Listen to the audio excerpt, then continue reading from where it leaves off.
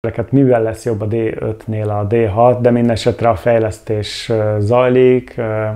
Na, ez egy érdekes dolog. Valószínűleg ez az, az utolsó profi tükörreflexes sport és sajtó kamerája Nikonnak. Aztán kapott az EOS R a Canonnál az R és az RP firmware update-et. Itt az autofókusz fejlesztették, meg néhány egyéb javítást is létrehoztak. A Nikon Z 85 mm-es objektívvel rukkolt elő, ennek az ára 250 ezer forint. Ez azt mondom, hogy nem olyan vészes, ezek az S jelű objektívek, ugye a Z, Z6, Z7-re, meg ugye most már fel lehet pakolni majd az E50 csak ott ugye be kell szorozni 1,5-tel a gyújtó távolságot. Aztán a Sony A9-es, idézőjelben mondom, hogy a régi, hát ez ugyancsak kapott egy update-et, és uh, itt a, megkapta ez is a szemre való fókuszálás, meg néhány javítást.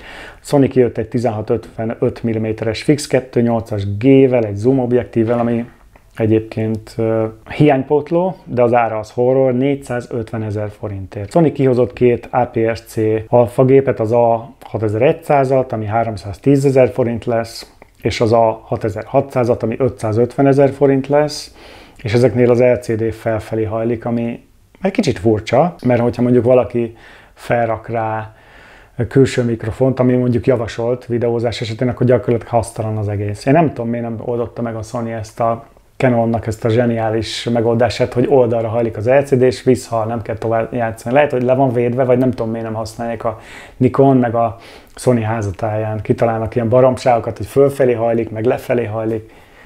Nem értem. Aztán a Sony kihozott egy 70-től 350 mm-es 4,5-től 6,3-as blendéjű OSS objektívet 310 ezerért.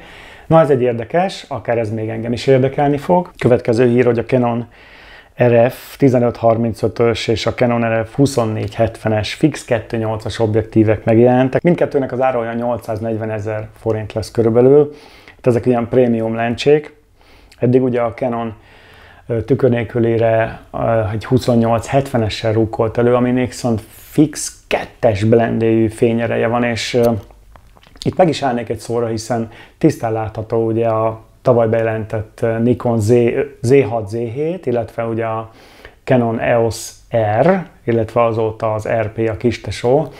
Szóval tisztán látható, hogy a Nikonnak a váza fejlettebb, a Z6, Z7, ugye ráadásul stabilizált eh, szenzorral rendelkezik, viszont a mellékínált és azóta piacra dobott objektívei sokkal gyengébb minőségűek, mint a Canonnak. Tehát a Canon sokkal komolyabb lencsékkel, zoom lencsékkel, fix lencsékkel jött ki, sokkal komolyabb fényerővel, viszont egy kicsit gyengébb képességű vázzal. Szóval érdekes dolog ez, van még itt, van még mit fejleszteni, továbbra is azt mondom, és az egyik indok, hogy én miért értem át Sony-ra, mert a Sony egyszerűen 2014-ben kijött az A7-essel, és gyakorlatilag azóta is úttörő a full frame-es tükör nélküli gépekkel, és most már azért azt se lehet mondani, hogy kevés a lencse, még mindig sokkal kevesebb mondjuk egy Nikon vagy Canon DSLR-nél, de azért már nyugodtan el lehet kezdeni profin is fotózni ezekkel, és hát az ár persze zsebbe kell nyúlni mélyen, de ezen kívül nagyon elszaladt a Sony. Jó irányba. Aztán érdekességképpen, ha már Canonról beszéltünk, hogy 800 ezer forintért lehet például kapni egy 50-es f 1,2-es blendéjű Canont, ugye ezekre a tükör nélküli milcekre,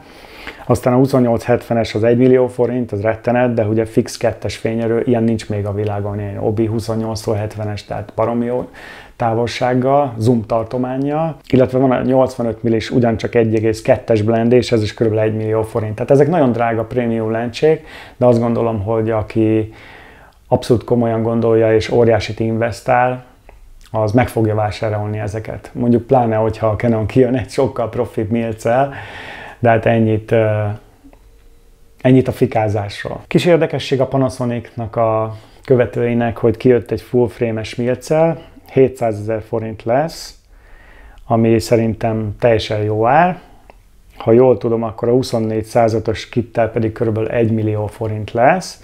Viszont ez egy profi gép, és a Panasonic ugye tudjuk, hogy GH4, GH5-ökkel, fantasztikus videóképességekkel is rendelkezett, és általában állítólag át is örökítette az új gép, gépbe, úgyhogy a Panasonic rajongóknak ez egy nagyon jó hír. Utolsó néhány hír következik, a Nikon Z2470-es 2.8-as fix fényre jobbi, ugye VR nélküli, az kijött és 660 ezer forintért árulják. Ugye azért nem kell VR bele, mert ugye a váz Nikon Z6, Z7-ben van, úgyhogy semmi vész. Ez egy hiánypótló obi volt, mert eddig a Nikon csak F4-es fényerői 24-70-es obit adott, úgyhogy végre a profik is tapsolhatnak örömükben, hogyha nem akarnak mondjuk egy átalakítóval a régi F-mountos lencséket használni. Aztán megkapta a Nikon Z6, Z7 firmware update során a IAF, tehát ugye a szemre fókuszálást, és a Nikon pedig elismerte, hogy dolgozik egy D5-tel egyenértékű Milcen. Na, ez mondjuk egy nagy hír, úgyhogy csak győzők kívánni gyerekek. Kisebb hír, hogy a Sony A6400 is megkapta az IAF firmware update-et, tehát akinek Sony A6400-a van, az is tud most már szemre fókuszálni automatán a géppel. Persze jó lenne, hogyha a régebbi verziók is megkapták volna, de egyelőre ennyi hírről tudok beszámolni. Kicsit hosszúra nyúl, de hát ugye régen volt már műsor, úgyhogy gondoltam most egy kicsit ilyen skót módjára gyorsan mindent összepréselek, és minden, ami szívemen az a számon. Nagyon szépen köszönöm, hogy megnéztétek a videót, Isten tartsa meg jó szokásatokat, és remélem látszik valami, hogy micsoda gyönyörű idő van most szombat reggel, amikor ezt a vidit felvettem. Szóval mindenkinek azt ajánlom, hogy használjuk ki ezt az utolsó néhány napot, hetet a gyönyörű őszből, fantasztikus színek és fények, a napállásra sokkal kedvezőbb ilyenkor portréfotózásra, ami a szívem csücske. Úgyhogy irány gyerekek a szabadba, és mindenki fotózzon sokat. Lesz képértékelés, képelemzés is, viszont hát csúszik a projekt, mert rengeteg a munkám, külföldre is fogok utazni, lehet, hogy külföldi vlogot, hát nem vlogot, de egy ilyen bejelentkezést is fogok tartani, egy hét vagy két héten belül. És hát, hogy van esetleg ötletetek, hogy milyen videók szülessenek a közeljövőben, persze türelmeteket kérem most is, mert a munka az első, akkor azt szívesen megköszönöm, illetve bármi egyéb észrevétel, ha esetleg valami hülyeséget beszéltem, kihagytam valamit a videóból, akkor kérlek kommentáljátok, illetve legyen ez egy ilyen szakmai fórum, ahogy eddig is, és tényleg nagyon-nagyon büszke vagyok, hogy, hogy egy ilyen aktív csatornát tudunk együtt csinálni továbbra is. Most már lassan három éve. Úgyhogy sziasztok, legközelebb videóban találkozunk. Ciao.